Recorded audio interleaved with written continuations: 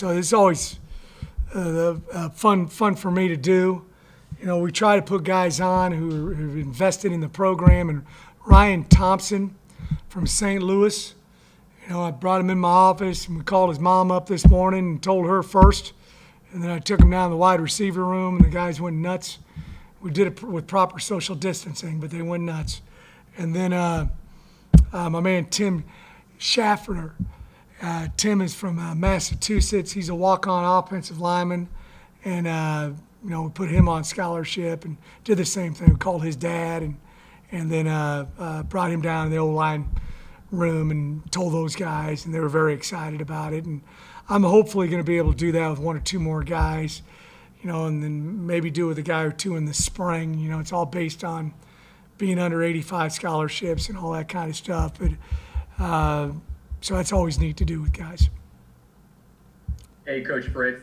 Uh, this is uh, Garland Gillen, Fox 8. Um, you, you test, you practice. Test practice just been repetitive. Uh, can you tell the players are getting really excited and, and the coaches that that there's kind of light at the end of the tunnel? You're going to be playing a game here in nine days. Yeah, I I think they're pumped up for it. Uh, you know, it- you're exactly right. There's light at the end of the tunnel. You know, it's it's we, we got to you know tonight. Two of our opponents in our first three games are going to play against each other. South Alabama versus uh, Southern Miss.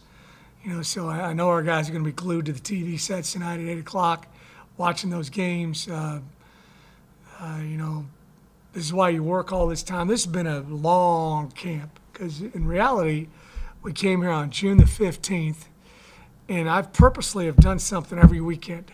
You know, so you know, I want to keep them around and keep them here and keep them uh, busy. And, and it's been a lot of work for the players. It's been a lot of work for the coaches, the managers, and the trainers. And uh, and then you throw that testing component in there. We test all the time.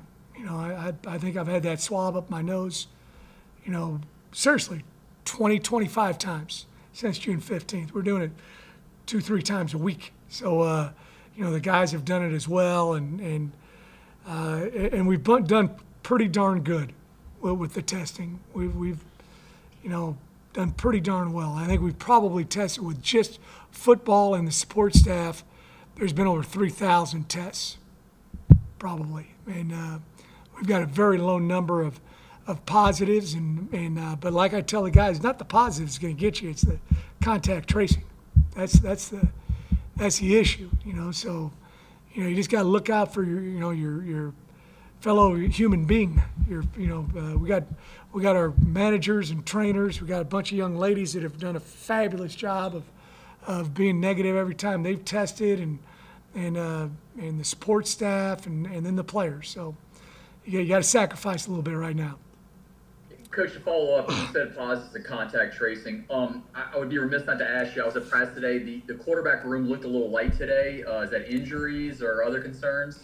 Well, the issue we got right now is we're, we're uh, we didn't get all of our results back from last night, from yesterday. So I'm waiting until we get our results back. So there's probably about, I don't know, there's probably about 10 kids that didn't go today because we didn't get their results back. That's the tough thing for us right now is the turnaround from the testing. You know, because uh, uh, I, I, we got uh, the first 74 we got yesterday. I got about six o'clock, 6:30, and I think only 20 of them were players. They're coaches and managers and trainers, and I was like, great, that's, everybody's negative. That's fantastic. I want to get the players. So if we don't get the result, we don't let them come out here, and uh, plain and simple. You know, we've got a few guys that are in quarantine right now. We've got a, uh, a few guys that have tested positive that are not out there with us, but I think what you're talking about would be because we haven't gotten results back at that particular spot. And I, I try not, I, I, don't want to give out names and all that stuff on, on this stuff, but there, you know, there is, we're, we are being very cautious, very cautious. And, uh, and I go to Doc Stewart. Doc Stewart tells me, you know, hey, what should I do? Well, you don't got him back. Let's don't have him practice. All right. You know, he's an expert. I'm not.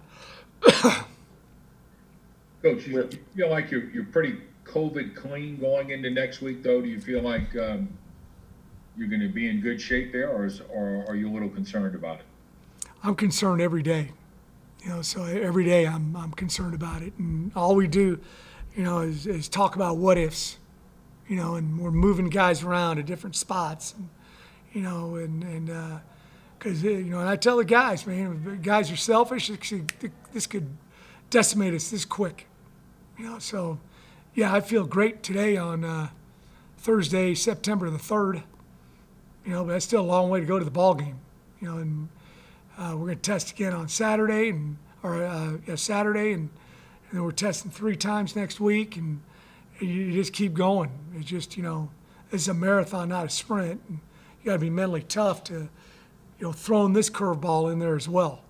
You know, it's a different year. It's not, you know, it's not the same as other years. And you know, I, I was, you know, those guys probably don't think I was young at one time, but I actually was. And I know guys want to go out and have fun and do some stuff, but you know, we're- we're just, we're having curfew every night. And I told our guys, we're just gonna keep doing it, you know, until, until I tell you otherwise. And, uh, they've been great about it. Willie, it's unusual to have three straight days off without practicing, but with all the work you put in before then, do you feel pretty good about where the team is a week, a little more than a week before the game? Yeah, I do. I, I, I uh, you know, uh, you know, a big part of uh, Wednesday was we had, didn't have the results back, you know, and that was that was a big part of it. But uh, you know, we got a lot of, you know, we got did some valuable things. You know, as I said before, that meeting on Monday was a real eye eye opener for a bunch of people, you know, myself included. And I think it's good to have that dialogue. And, and I, I, you know, I'm just blessed that I get a coach you know, in- in- intelligent young men who, who think the way they talk, they, they think and talk the way they talk. And, and uh, I've just been for, so fortunate how few of issues or problems that we have. And that's a credit to my coaches also. They do a super job recruiting, you know, quality student athletes. And, and, uh, and you know, that comes into play when you go through hard times like this that we're, that we're going through right now. So, yeah, I, I would have liked to have not taken three days off. Uh, but that's how it worked out, and luckily we aren't playing this Saturday.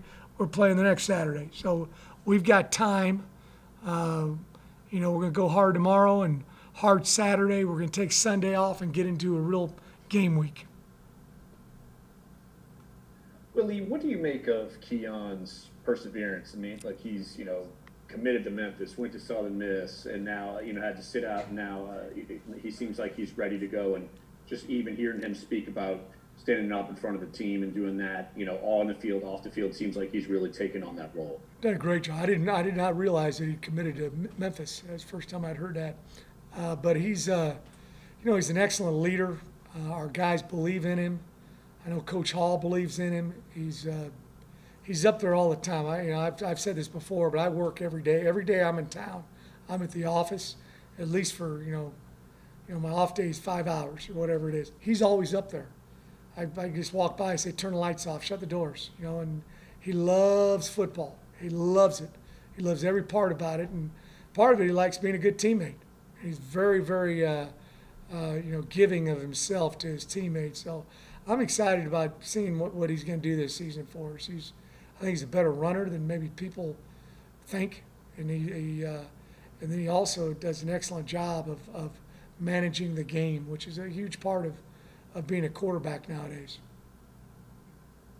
Willie, there was a story the other day. UCF has had 10 players opt out of playing this year.